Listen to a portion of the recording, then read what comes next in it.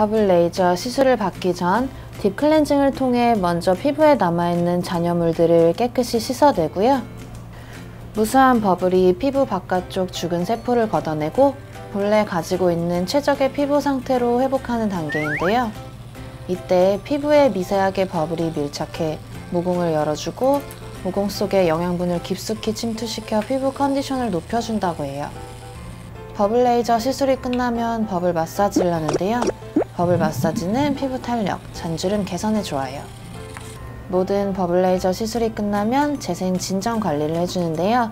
10분 정도 이렇게 누워있으면 피부도 진정되고 피부에 영양도 주고 전 이 시간이 가장 행복하더라고요. 피부 진정을 위한 스킨케어 마무리 관리까지.